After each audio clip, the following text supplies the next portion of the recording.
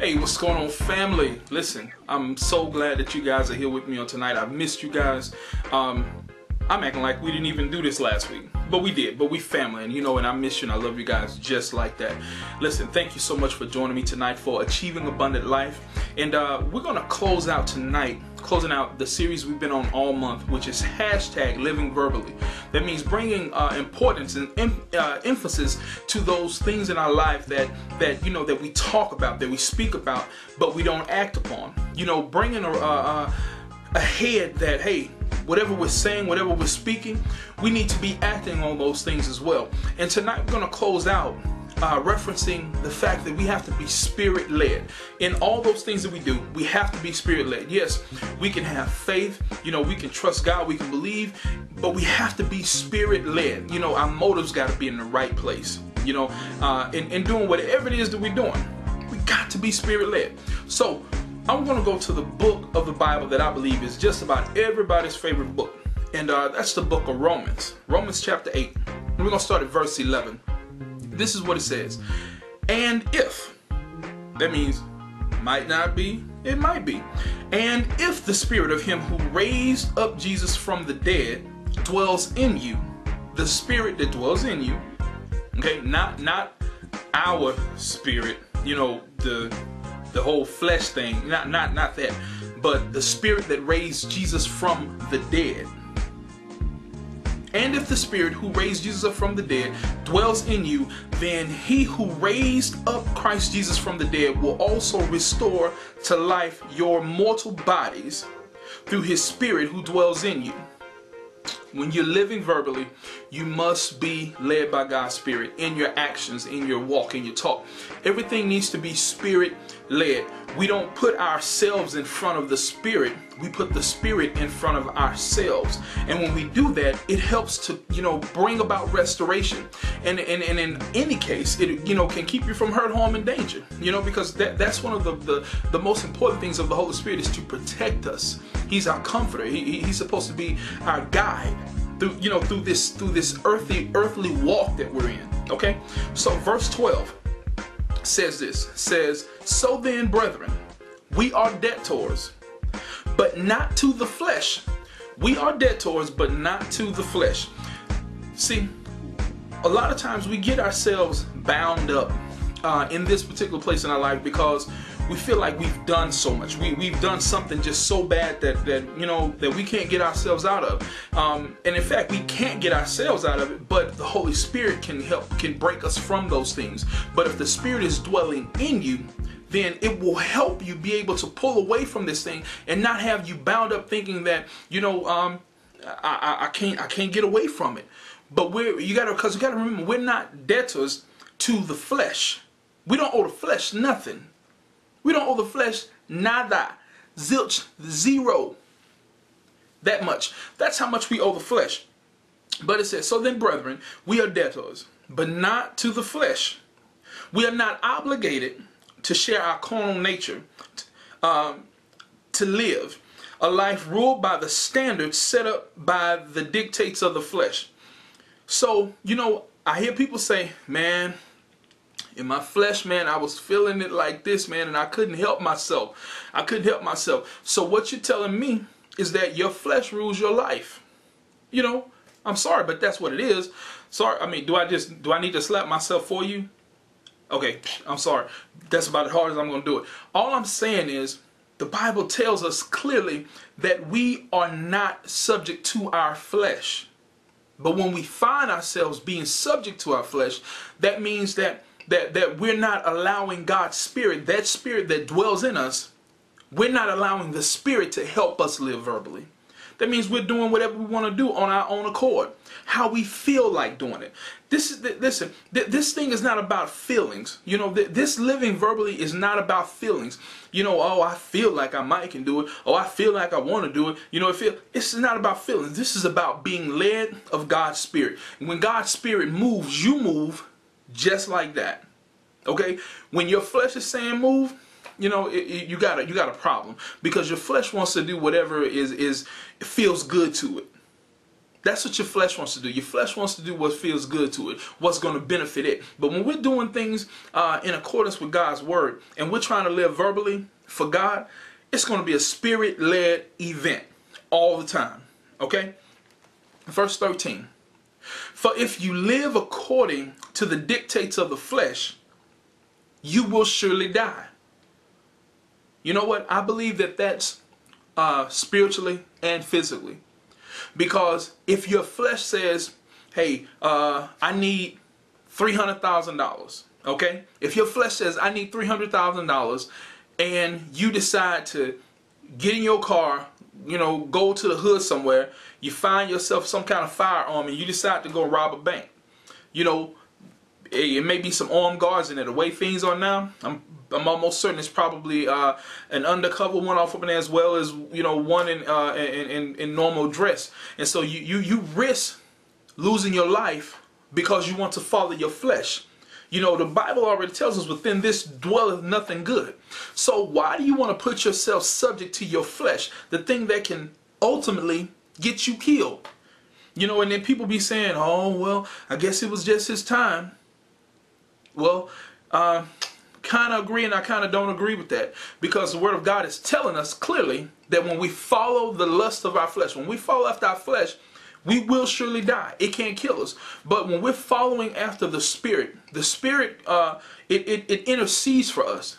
You know, it, it helps us, it guides us, it keeps us, it protects us. But if you live according to the dictates of your flesh, you will die. But if through the power of the Holy Spirit, you are habitually putting to death, making extinct, you know, uh, uh, deadening the evil deeds prompted by the body, you shall really and genuinely live forever.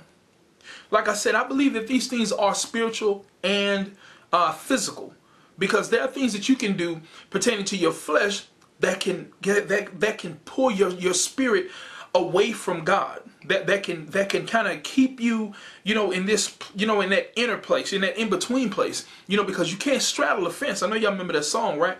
You can't straddle a fence. You can't serve two gods. It's impossible. It's impossible to serve two gods because one of them won't get served fully. But when we're when we're trying to you know gratify our flesh we do whatever we want to do. But when we're doing it uh, whatever we're doing and we're doing it and being spirit led you know we thrive. Uh, we thrive. I believe our natural life thrives as well as our spiritual life because we grow in God's word. We grow. We grow. We're nurtured. We're allowing ourselves to be nurtured and to be matured because we're being spirit led. Okay. Uh, 14 and 15 says, For all who are led by the Spirit of God are sons of God. Okay. For the spirit which you have now received is not a spirit of slavery. So stop condemning yourself.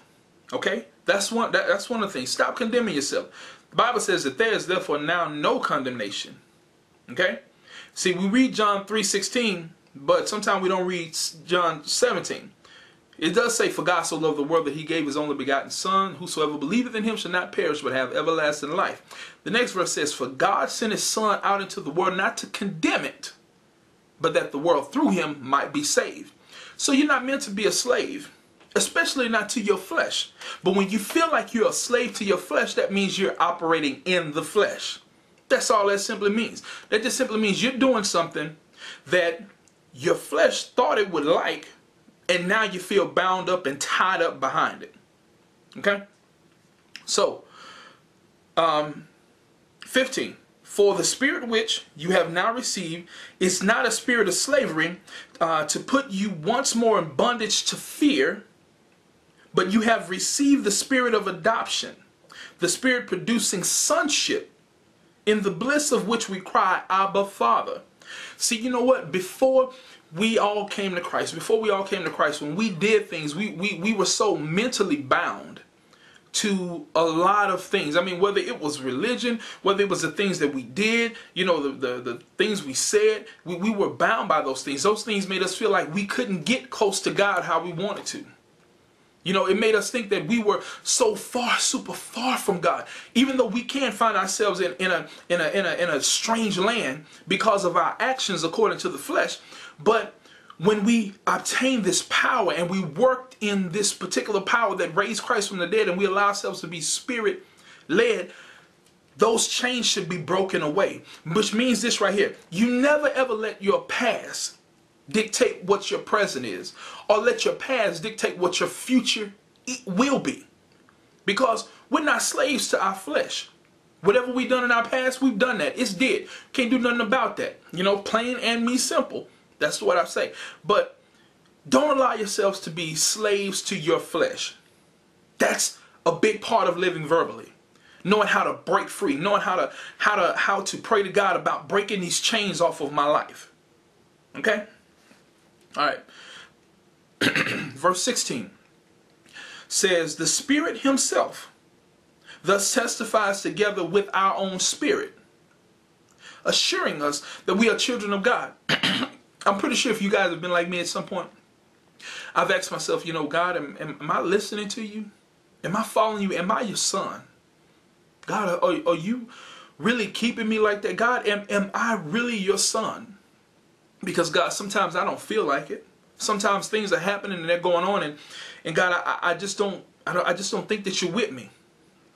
But the word it says right here is telling us when we're being spirit led, when we're living verbally and we're being spirit led, the spirit itself it it testifies together with our own spirit to reassure us that we are sons of God. But you're probably saying, well, you know what? I, I have felt that, but but there have been times where I still thought differently. You're not a slave to your flesh. Let, let that old mind go and let that mind be in you that was also in Christ Jesus. Okay? Verse 17. And if we are his children, and if, that means it's a possibility, possibility not. And if we are his children, then we are his heirs also. So what does that mean? That means that whatever my daddy has, I can have. Whatever is his can be mine. I didn't say it is mine. I said it can be mine. What an heir is, an heir is a person that obtains something, um, you know, majority of the time it's through death, right? But there's still a chain. That means sometimes things are set up where uh, it may have to go through three people before it gets to that person. You know, somebody else may have to die before you before you're able to obtain whatever it is that's been set out for you. So we can obtain those things. They don't automatically belong to us because we can we have that ability to put our flesh before our spirit, before our God, before the one that we call Father. We have the ability to do that, and if we do that, it can cause us to miss out on the inheritance. Yes, it may have your name on it. But what if you're out doing things that are opposite of what God's Spirit wants you to do. And you find yourself in a position where you die before receiving the promise. Don't say it can't happen. It happened to Moses. He didn't see the promise. So I want you to think about that. Think about that. You may be an heir, but are you staying in line to receive what it is that God has promised we can have? That's why he says, I come that you might have life and have it more abundantly. He didn't say, I come that you are going to have life. I might. That's a question mark. That's saying, if you follow things in ordinance, if you do things in line in order, yes, you can have this life that I've promised. I know this is going to go against some people's thoughts and theologies and, and whatnot, but this is the word of God. All right? Uh, and if we are his children, then we are his heirs also, heirs of God, and fellow heirs with Christ, sharing his inheritance with him. Only we must share his suffering if we are to share his glory. I know nobody want to hear that. Nobody wants to suffer uh, in order to reign. Nobody wants to suffer in order to receive. Nobody wants to suffer in order to achieve. Everyone just simply wants things to be what they want them to be. That's it. But the Word of God says different. It's not saying that that you're going to be, you know, have 50,000 lashes, you know, uh, placed on you, or you're going to have your eyes plucked out, or your ear cut off. It's not. It's not saying any of that. But it may be a, it, it may be different from you for you as it is with with with the with the next person. You know, but you have to remember everything that you go through in this life. When in when in well doing, you got to remember that it's not for you. It's not for you. Remember, when you're doing in well doing, it's not for you. It's for somebody else. So keep that in mind. As we close out this particular series on living verbally, I want you guys to remember this. We've talked. Now let's act on what it is that we're talking about. So we're going to be spirit led today. Okay? We're to be spirit led. Let, let's pray about these things that, that, that God is speaking to each and every one of our lives about doing. And we're to make sure that we're not doing them in the flesh because that will surely lead to death. Listen, pray with me. Father God, in the name of Jesus, God, we pray and we thank you so much for this opportunity to, to get it right, to get ourselves in order, to get things in line, to be able to line up with what your word says about our life. God, we don't we, we, we disassociate ourselves from the from the from the flesh in the sense that it does not rule our lives anymore. God, we ask your spirit to, to fill us, to make us whole. God, we ask your spirit to give us that power to understand, God, that everything that we do, it's about you. God, you'll see after us if we simply do your will. Your will, God, is what's best. And so, Father, we, we, we just thank you, God. We glorify you. We honor you for being the God that you are. God, we want that same power that raised Jesus Christ from the dead to raise up in our lives our faith, our belief, our trust, our understanding. God, that in everything we do, it keeps us from those pits of hell. God, that, that await those that, that denounce you, that turn away from you. God, enhance our lives, make things better, make things whole and complete. And God, we will be forever grateful to give your name all glory, honor, and praise. In Jesus' name we pray. Amen. Well, listen, guys, thank you so much for listening tonight. And uh, tune in again next week, right here. Same time, same channel. Uh, again, I'm Pastor Perk, and I want to thank you guys so much for listening in to Achieving Abundant Life. And as I always say, have faith, trust God, and believe for every situation in your life. Please reach out to us, contact us. There'll be an email provided uh, at the very end of the broadcast, and uh, we just want to hear from you. Let us know what's going on. Listen, guys, until next week, God bless. Peace.